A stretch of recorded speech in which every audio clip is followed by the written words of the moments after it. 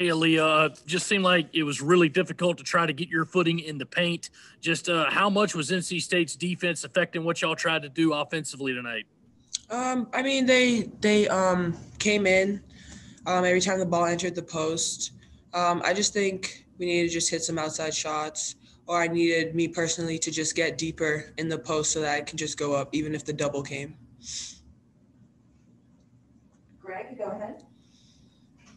Aliyah, you guys went through this last year losing to Indiana. What lessons can you take from that game and can from this game moving forward? I mean, yeah, um, I think it just it's gonna help us to see what we need to do better as a team and what um, we need to work on, and just realize like how this game went and just what we need to get better at.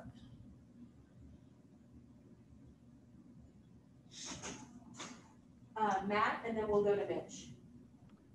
Aliyah, what was what was the team's feeling throughout the game? I mean, was it just constant frustration? Was it just staying positive? What were you guys saying to each other despite all of the troubles with shooting?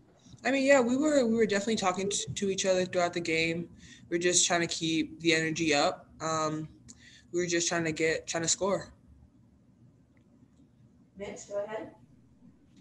Well, yeah, obviously you guys knew it was going to end at some point in win streak. You know, you win some, you lose some. Um, but for you guys that are the new leadership group of this team, uh, what's the message as you guys try to, you know, get past this and, and bounce back on Sunday? Um, I mean, this game this game is over with. Um, we have Iowa State on Sunday, so we just have to learn from this game and prepare for Iowa State and just be ready for that.